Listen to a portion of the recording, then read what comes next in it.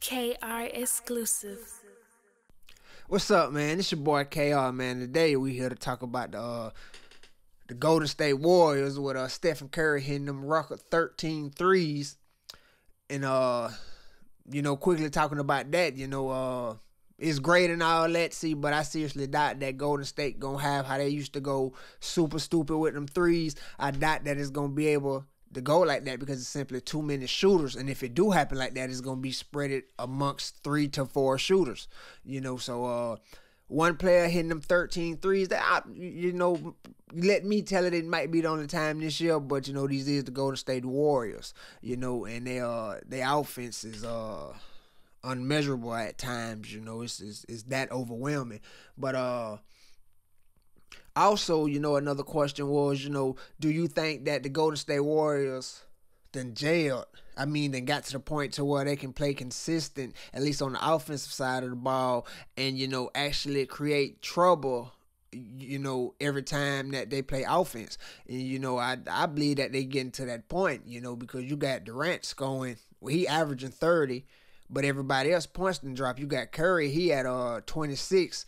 You got Clay at uh 17, and you got Draymond at nine, which you can expect Clay and, and, and Draymond minutes, not minutes, but uh points to actually go up.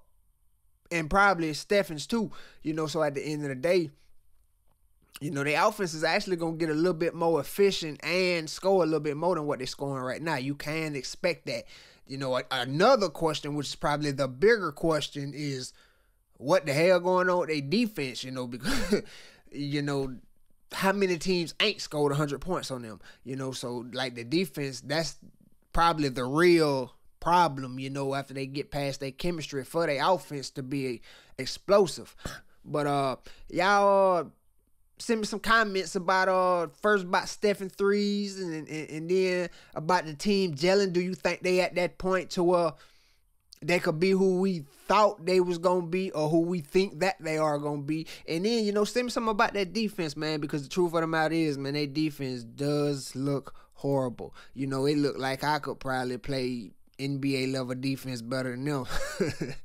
yeah, man, y'all send some on that uh comment, man. I appreciate it, man. It's your boy KR, man. I'm out. Hey, man, it's your boy KR, man. I'm here just to uh let you know that this new channel is gonna put you up on all the new content from hip hop news to sports to you know somewhat politics to you, you know it's a whole lot of things going on here and I feel like everything that I can put you on and I feel like would be entertaining and knowledgeable to you, I will put that news out for you on a daily basis. You know, anytime that I feel like it need to be put out, I will put it out.